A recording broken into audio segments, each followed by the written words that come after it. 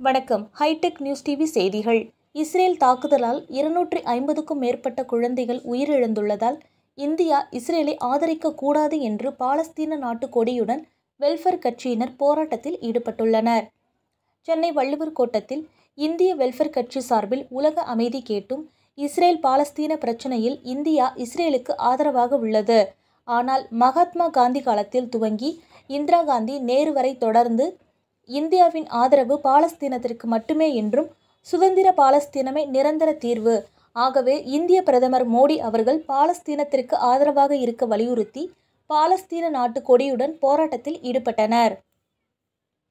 அதன் பின்னர் செய்தியாளர்களிடம் பேசிய இந்திய வெல்ஃபேர் கட்சி மாநில தலைவர் அப்துல் ரஹ்மான் யூதர்கள் பாலஸ்தீனத்தில் குடிபெயர்ந்து அந்த நாட்டை ஆக்கிரமிப்பு செய்துள்ளனர்.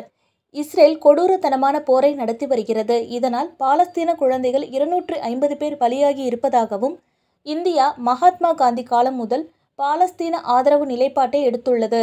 ஆகவே தற்போது உள்ள மத்திய பாஜக அரசு அதே நிலைப்பாட்டில் இருக்க வேண்டும்.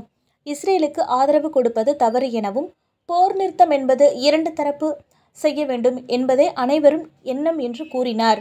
இந்த போராட்டத்தில் குழந்தைகள் பெண்கள் என அனைவரும் பாலஸ்தீன நாட்டு கொடியுடன் கலந்து கொண்டனர். அன்றாட நிகழ்வுகளை உடனடியாக தெரிந்து கொள்ள ஹைடெக் நியூஸ் டிவி சேனலை சப்ஸ்கிரைப் செய்யுங்கள்.